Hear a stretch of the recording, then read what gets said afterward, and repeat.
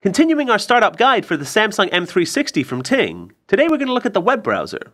While the browser on a feature phone like the M360 can't compare to the rich full web experience you get on a smartphone, you can still connect to do a quick search, check email, the weather, news, or whatever. From the main screen, hit the menu button.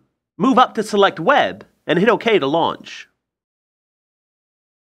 Your homepage will load. By default, it'll be the Sprint PCS page. On this page, you can access a few quick links for things like weather, sports, news, and entertainment. Hit the top right keypad button to open the toolbar. Use the direction pad to highlight and OK to select an item. You can see that the forward and back buttons are grayed out. As we navigate, these will become available and allow us to jump quickly back or forward through the pages we visited.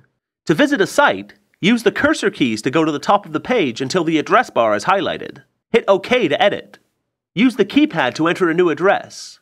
Mobile.google.com and mobile.yahoo.com offer quick hit pages ideal for feature phone browsing and are a good place to start. Some sites will have mobile versions that'll work with a feature phone like the M360. Try going to m.yourfavoritesite.com to see if it's included in the list. To set a new page as your homepage, first visit it. Bring up the toolbar.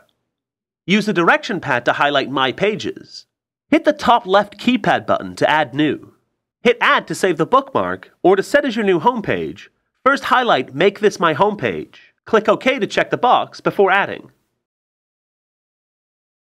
Be sure to watch the other parts in this Ting Startup Guide series for your Samsung M360. Enjoy your new phone.